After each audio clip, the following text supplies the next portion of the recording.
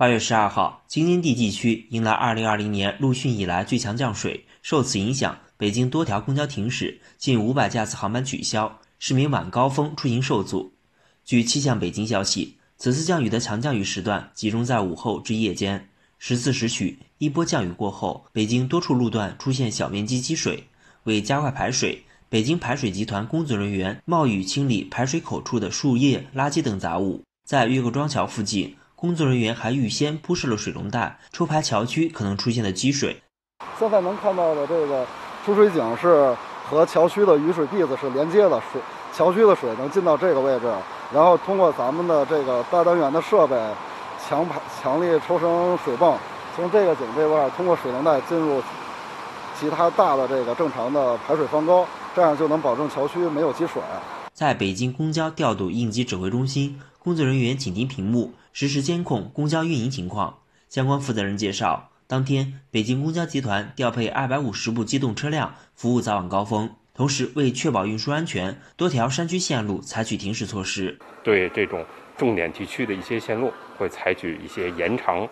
这个早晚高峰时间的这么一个措施，呃，确保错峰出行的这个市民的一个出行。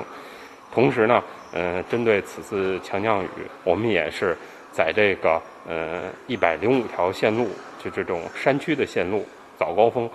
前果断采取停驶措施的同时呢，在中午应对这个强降雨，我们也是采取了这个停驶啊、绕行啊。强降雨也导致首都机场和大兴机场多架次航班取消。据非常准数据显示，十二日大兴机场累计执行航班二百八十一架次，取消一百八十五架次。首都机场累计执行航班五百九十九架次，取消三百零二架次。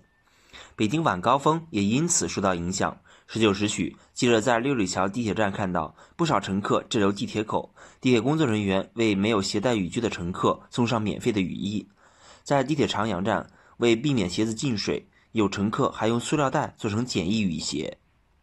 据北京排水集团消息，十二日晚，排水集团防汛保障范围内，西四环中路南沙窝桥、安宁庄西路、西客站东西隧道等十四处，由于雨水强度较大，积水超过三十公分以上，道路交通暂时中断。经过紧急处置，十三日凌晨三时许，十四处积水点均已全部排除。